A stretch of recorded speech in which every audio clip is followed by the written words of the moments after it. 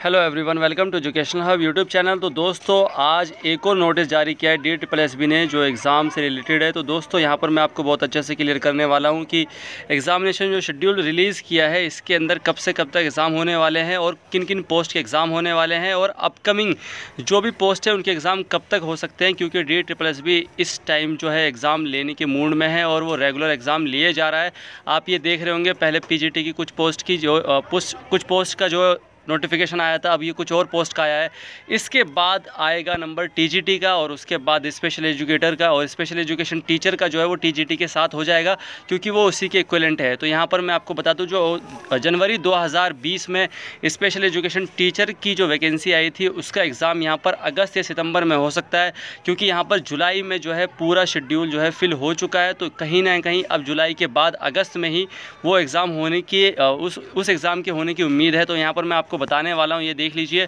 Notification of online examination for the various post code of various department schedule in the month of July 2021 तो दोस्तों, यहाँ पर आप देख लीजिए डे डेट एंड डे जो हैं, वो 16 जुलाई से लेकर यहाँ पर 30 इकतीस जुलाई तक है और कौन कौन सी पोस्ट है वो देख लीजिए। यहाँ पर कुछ तो है PGT biology Sanskrit fine art economics Hindi chemistry और हिंदी पॉलिटिकल साइंस और दोस्तों, इनका जो ऑर्गेनाइजेशन डिपार्टमेंट है, वो है डायरेक्टरेट ऑफ़ एजुकेशन यानी कि दिल्ली गवर्नमेंट के जो स्कूल हैं वो।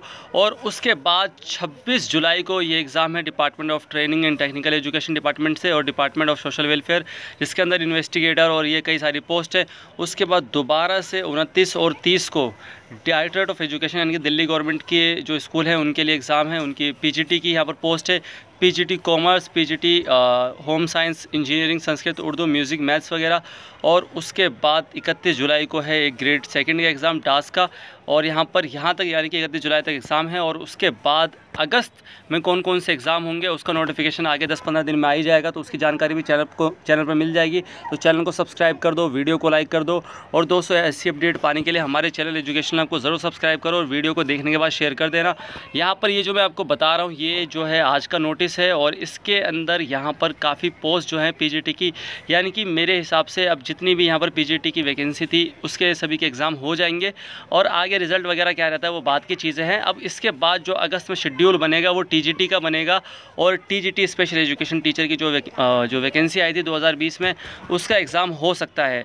तो दोस्तों, उसके बाद असिस्टेंट टीचर प्राइमरी और यहाँ पर स्पेशल एजुकेटर की जो वैकेंसी अभी आई थी मार्च में, उसकी उसके एग्जामिनेशन शेड्यूल बनेगा।